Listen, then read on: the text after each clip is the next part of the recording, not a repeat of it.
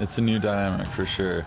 Uh, we have Coach K. We call him now. Uh, Kerry's our. Uh, I don't know. He's the passion of the team. He's the heart of the team, right? He's coming in first year for him, and he's uh, stepping in right away with a big role. Uh, our team has like a process-driven focus in mind, so I don't know. It's kind of like every point we address One there by Cam Fennema.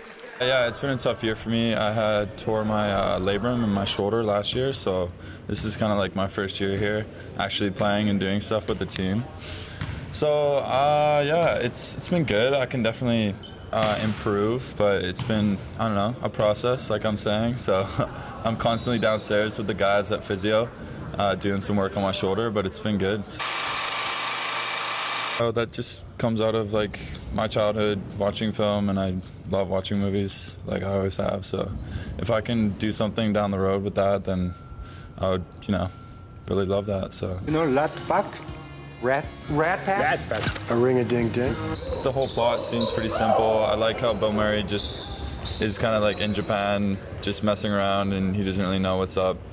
Um, I kind of feel like that sometimes here on campus, just walking around like a face in a crowd kind of thing. But you know, coming from the island, it's just like small town kind of. Come here and there's like 55,000 like students walking around and I'm just like, what's going on? So I kind of feel lost sometimes, but I got the group of guys here with me.